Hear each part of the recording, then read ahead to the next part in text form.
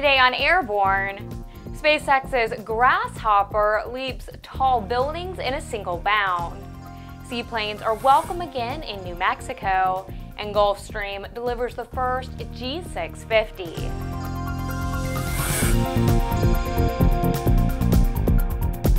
I'm Ashley Hale. Welcome to Airborne on Aero TV. SpaceX's Grasshopper took a 12 story leap towards full and rapid rocket reusability in a test flight conducted December 17th at SpaceX's rocket development facility in McGregor, Texas.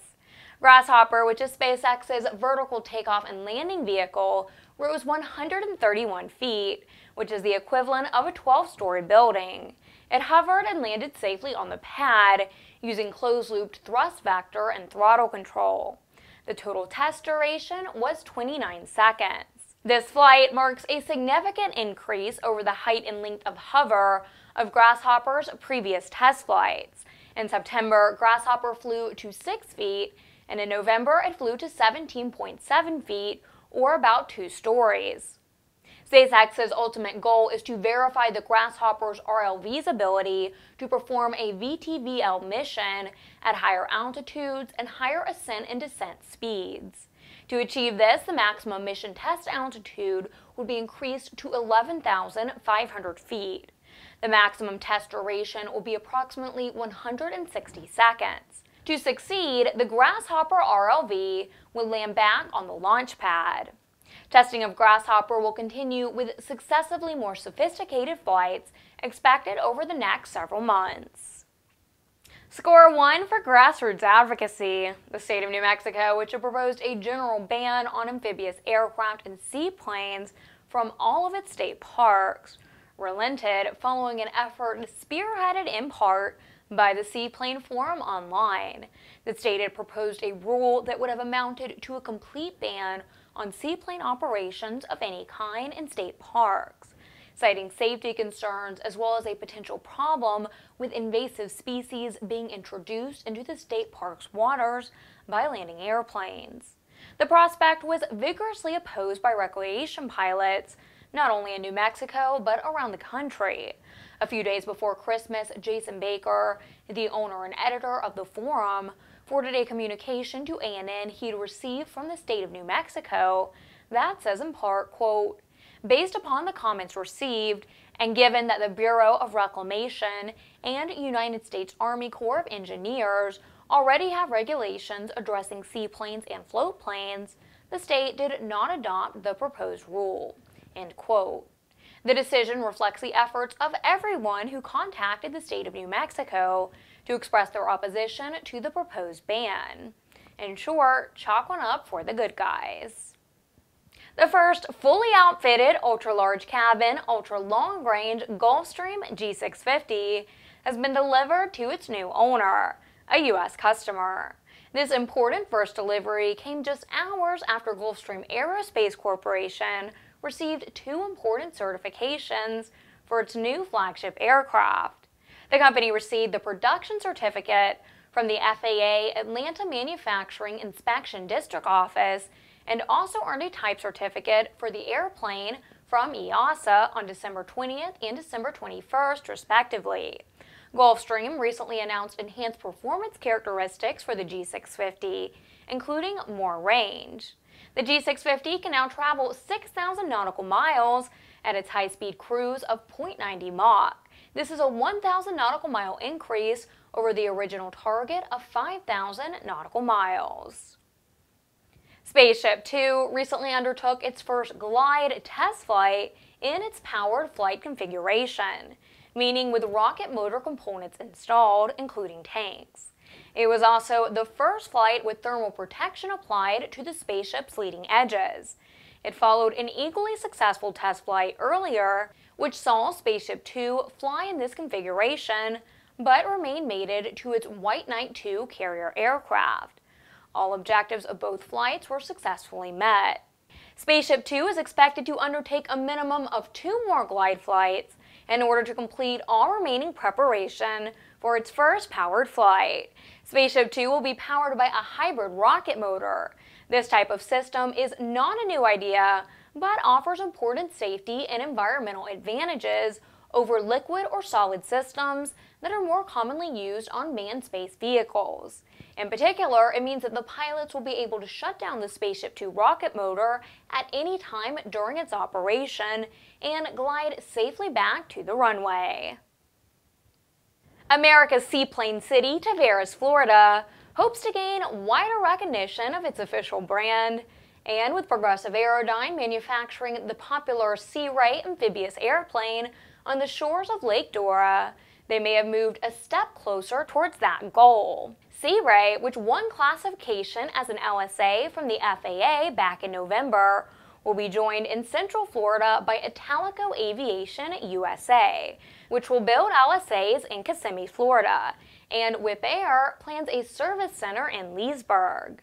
The city has already rebranded itself to reflect the importance of seaplanes to the local economy, having established a seaplane base in 2010 that has seen an estimated 3,400 landings over the past two years. Now, the Orlando Sentinel reports that the city thinks that the SeaRey manufacturing facility will be a catalyst for additional economic recovery, not only for Tavares, but the entire region. City Administrator John Drury said that over the next three to five years, he expects that a seaplane cottage industry will grow up around Tavares, attracting not only aviation, but other businesses to the region. You're watching Airborne, more in a moment. Since its inception, Redbird Flight Simulations has been dedicated to developing new training technologies and processes in an ongoing effort to make aviation safer, more affordable, and more accessible. Consider Redbird's flagship flight training device, the FMX, a superior quality, full motion, feature rich advanced aviation training device priced with real world flight training organizations in mind. With standard features that are anything but standard, such as wraparound visuals, a fully enclosed cockpit, quick change configurations, scenario based training compatibility, and of course, an electric motion platform, the FMX serves up a level of realism that is simply unavailable in other training devices on the market.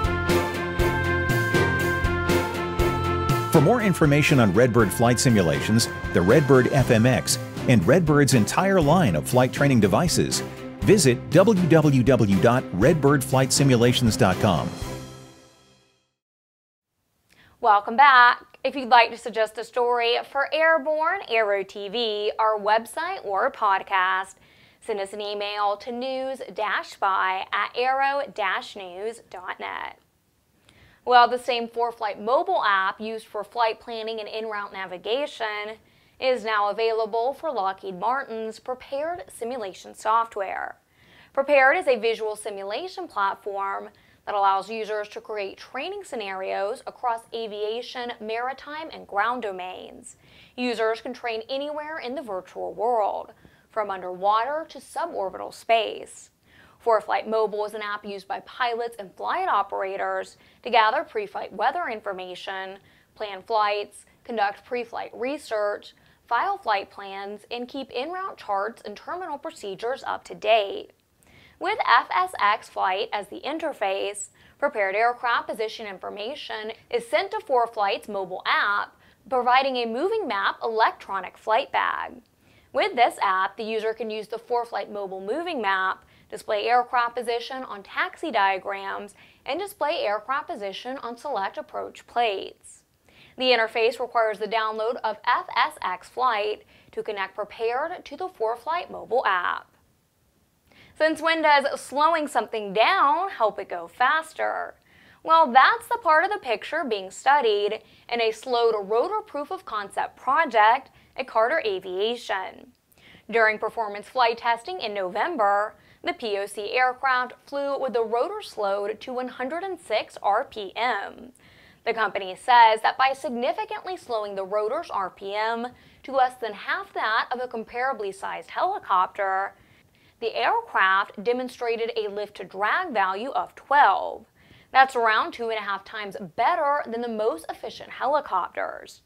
Carter Aviation Technologies says they expect the POC aircraft to achieve speeds in excess of 200 knots at 25,000 feet and 350 horsepower with the current test weight of 3,950 pounds. Additionally, the POC has proven its VTOL capability, achieved speeds in excess of 140 knots on 200 horsepower and an altitude of 12,000 feet. The POC aircraft is a variant of the company's four-passenger vertical takeoff and landing aircraft, the four-place PAV. Version 6.9 of WingX Pro 7 has been released by Hilton Software of Parkland, Florida. The new version includes three significant enhancements, including Smart Taxi, Search and Rescue Grids, and Search Patterns. And it's the first iPad app to support the dual XGPS 170 Bluetooth ADSB receiver. Smart Taxi is a patented technology developed by Hilton Software. It was initially introduced several years ago on the WingX Windows mobile solution. Smart Taxi has been enhanced to take advantage of the iPhone iPad platform, and it's now enabled at over 4,000 airports.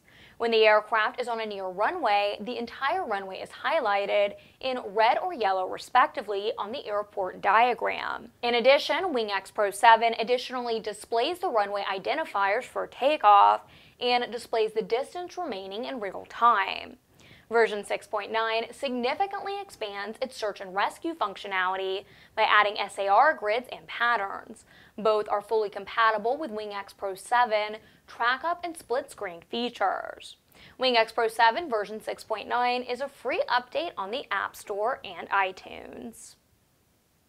In this week's Barnstorming Commentary, ANN CEO Jim Campbell shares with us one problem that needs attention in the coming year. Thanks, Ashley, and Happy New Year, folks.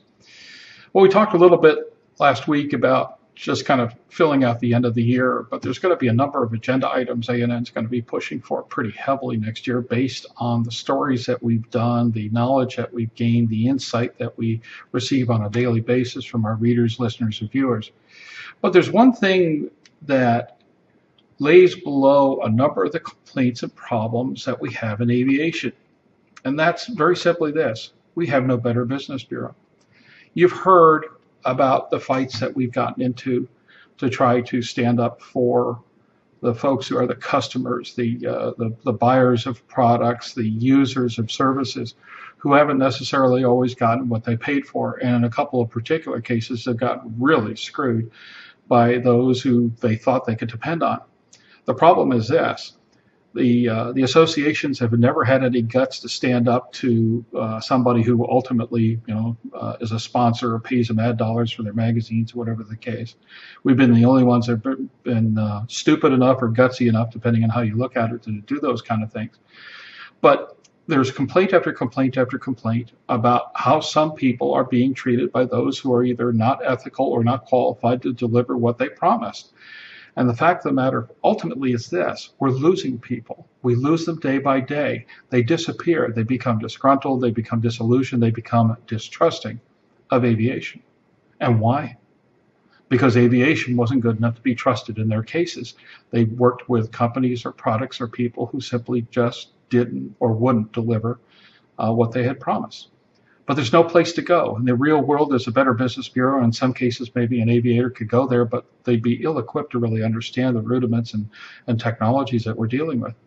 The associations, as I said, won't do anything about it, and we really don't have a place to go. And if it's just us, uh, I think we do a good job, but we're one voice and we're a limited voice in that there's just 24 hours in a day and 365 days in a year, and just so much we can do there needs to be some place where an aviator or an aviation oriented person who has bought a product or service or in some cases done some kind of commercial business and not gotten what they paid for, where they can go to complain, to help get help, to alert others to this kind of thing. And so far there isn't. How would we build that? Where would it come from? Who would do it? These are really good questions and some questions we want to answer in the coming year. But more important, what do you think? where do you go when you have a problem in aviation outside of just your buddies and the message boards and of course ANN? There's got to be a better way. We need to look for it, and I'd love to see something get put in place next year. What do you think? For the Aero News Network, Aero TV, and of course Airborne, I'm Jim Campbell. And once again, Happy New Year. We really need a Happy New Year.